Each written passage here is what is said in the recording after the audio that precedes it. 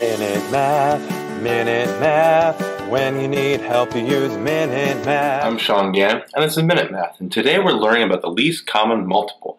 We're going to find the LCM of each. So, if I was given these numbers 10 and 3, okay? So I have 10 and 3. Well, what I want to do is I always take the larger number and find all the multiples of that. So 10, and then we have 20, right? And first, 3 doesn't go into 10, right? So does 3 go into 20? No, uh, evenly. But does the next one is 30. Does 3 go into 30? Yes, 3 divided by 30. Uh, 30 divided by 3 is 10. So it goes in evenly. So my answer here is just 30. 14 and 6. Well, I take the largest number, 14, and I go through each multiple to see which one's divisible by 6, the first ones, right? Well, 6 doesn't go into 14, so then we have 28 here. Does 6 go into 28? No.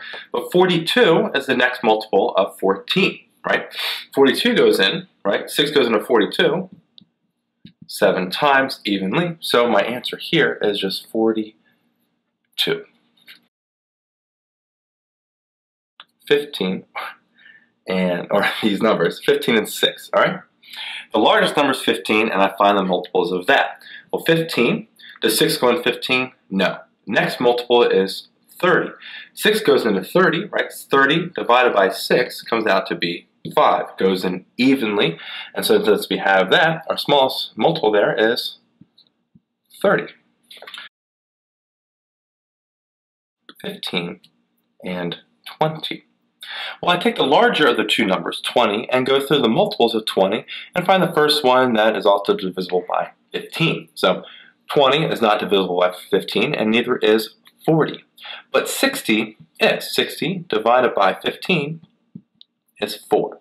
So 60 is my magic number, and my final answer. 27 and 18. Larger of the two is 27. So we go through the multiples of 27 and find the first one that's also divisible by 18.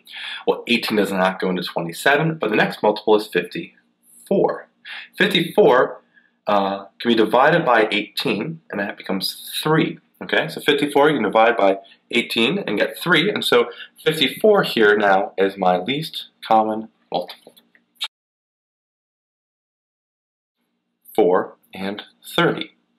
Well, I take the larger of the two numbers, 30, and see if the other number goes into it. Well, 4 does not go into 30 evenly, so I go with the next multiple of 30, which is 60. Now, 4 goes into 60 evenly, and 60 divided by 4 is 15. So, 60 is my least common multiple. 24 and 32. Okay? Well, I take the larger of the two numbers, 32, and find its multiples. Okay? And as I go through, I try to see if that multiple can be divided by 24. Well, 32 cannot be divided by 24. Next multiple is 64. 64 cannot be divided by 24 evenly, so we have 96. Now, 96 can be divided by 24, right? So 96 can be divided by 24, and that's going to be 4 times. 96 divided by 24 is 4. Okay, so 96 is my final answer. 20 and 30. Okay? Well, I take the larger of the two numbers, 30, and find its multiples and see which one is divisible by 20. Well, 20 doesn't go into 30, right? So the next multiple is 60. Does 20, 60 go, or 20 go into 60? Yes, 60 divided by 20 is 3. Okay, so my answer here is just 60. 24 and 36. Okay, well I take the larger of the two numbers, 36, and I go through its multiples and see which one is divisible by 24. Well, 24 does not go into 36. The next multiple is 72. 72 divided by 24, right, equals 3. And so 72 is divisible by 24, and so my answer here is just 72. 35 and 25. Okay? Well, I take the larger of the two numbers, 35, okay? And I go through its multiples, and I find which one is also divisible by 25. Well, 35 is not, and then I have 70. 70 is not divisible by 25, and neither is 105. Then 140 also cannot be divided by 25, but 175 can. 175 divided by 25 is 7. Okay, so 175 was the first one of these multiples that is divisible by 25, and so 175 is my final answer. 18 x y squared and 15 y to the third power. First thing I deal with is the number itself, 18 and 15. Okay, so I take 18 and find its multiples and find the smallest one that is divisible by 15. 18 is not divisible by 15, and neither, neither is 36. Neither is 54 or 72. We don't get there until we get to 90, because 90 divided by 15 is the first one that goes in evenly, and that is 6. Okay, So 90 is going to be the number. Now to deal with the variables. And really, with our variables, we make sure we encompass everything. Okay, we have one x here, no x here, but we have to have an x, right? We have an x. Two y's here, three y's here, well, we need to have at least three y's, so we have y to the third power, and there we have it. 90x y to the third power is my final answer. 20 x to the third power and 16 x to the fourth, okay? Well, first thing I deal with is just the numbers. Largest number is 20, and I go through its multiples and see which one's divisible by 16, the first one too. 20 is not, and neither is 40. 60 also is not divisible by 16, but 80 is. 80 divided by 16 gives me 5, okay? So a number here that I need is 80, but now I have to deal with the variables. Well, I got 3 x's here and 4 x's there. I got to encompass all the most I can, so it's x to the fourth power, and so my final answer here is just 80x to the fourth power. 18 and 6b. Okay? Well, I first deal with just the numbers and take the largest, 18. And I go through its multiple to see which one is divisible by 6, the first one to be. Well, luckily for me, 18 is divisible by 6, and that's going to be 3. So the number I'm looking for is 18. Now I need to worry about the variables. Well, I have no variables here and one variable here. To encompass all variables, so we have a v here. And so my final answer here is just 18v. 3 x squared and 10. Okay. Well, first thing, as I look at the numbers, I got 10, largest of the two. And I go through its multiples and find which one is divisible by 3. Well, 10 is not, and neither is 20, but 30 is divisible by 3, and that's going to be 10, right? So 30 is divisible by 3. We're good. So 30 is my number here, okay? Now I have to deal with the variables. Well, we have to encompass all of our variables. We have an x squared and we have nothing, so we just have to bring down the x squared. And so my final answer here is just 30x squared. 20y and 14y squared. Okay? First thing is I deal with the numbers, 20 and 14. Largest of the two is 20. So I start with 20 and I go through its multiples and find which one is divisible by 14. Well, 20 is not, neither is 40 or 60. 80 is not, 100 is not, 120 is also not, but 140 in fact is our first multiple of 20 that's divisible by 14. And 140 divided by 14 is just, you can guess it, 10. Okay, so the number we're looking for here is 140, but now we have to deal with the variables. Well, we got one variable here and two variables there, one y and two y's. We have to encompass everything. Largest is y squared, so we got y squared there. So my final answer here is 140 y squared. 25 x squared and 25y. Okay? Well, this one's easy. Since our numbers are exactly the same for the 25s, at least 25 and 25, our number part for the LCM is going to be that 25. Okay? Now we have to worry about the variables. Well, I have x squared and y, and we have to encompass all of our variables, so let's just bring them together. x squared and y, and there we have our final answer, 25x squared 32 u squared 14v squared, okay? Well, first thing I want to do is I'll deal with my numbers, 32 and 14. 32 is the largest of the two. I now go through the multiples of 32 and see which one is divisible by 14. 32 is not, 64 is not, neither is 96, 128 is not, 160, 192 is not, the first one is 224. That is the first one that's divided by 14 evenly, and that's 16 times. So 224 is the number we're looking for. Now we have to find our variables. Now we have to encompass all of our variables. We have two u's here and two v's there. So let's bring them together. We got u squared here and v squared. And so my final answer is 224 u squared v squared. 18 m squared and 24 n times m. Okay? Well, first I go through the numbers. 24 is the larger of the two, and I'm going to go through its multiples and see which one is divisible by 18. 24 is not, 48 is not, but 72 is. 72 divided by 18 comes out to be 4. Okay? So 72 is the first multiple of 24, that's divisible by 18. And now I have to deal with the variables. Well, I have two m's here, and I have one n and one m. Okay?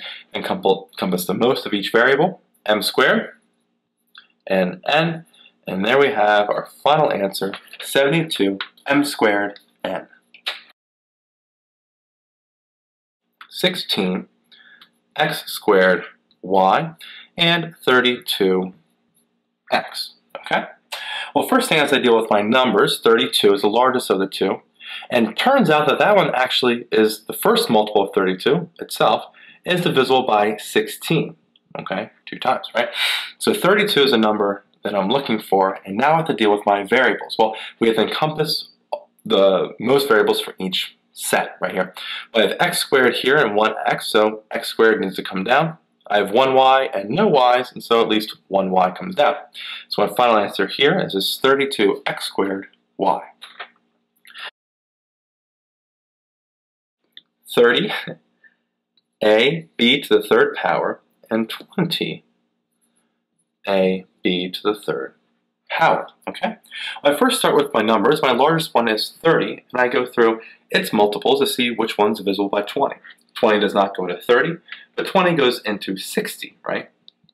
Right? And that's three times. So 60 is the number that I'm looking for here, and now I have to find the variables. Well, I have 1a here and 1a here, so 1a.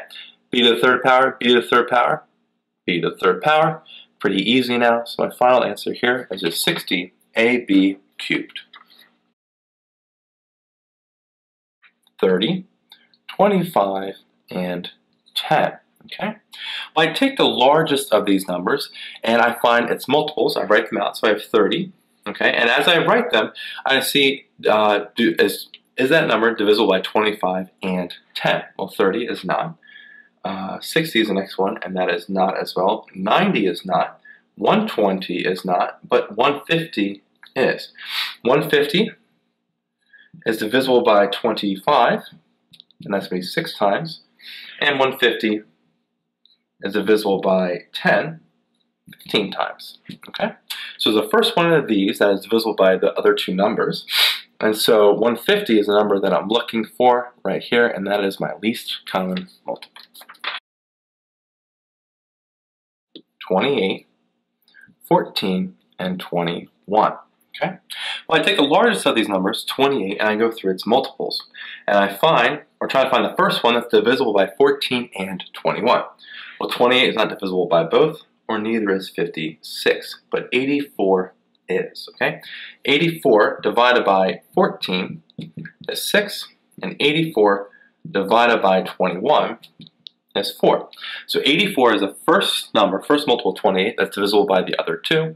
So my final answer here is just 84. 10, 4, and 18. Okay?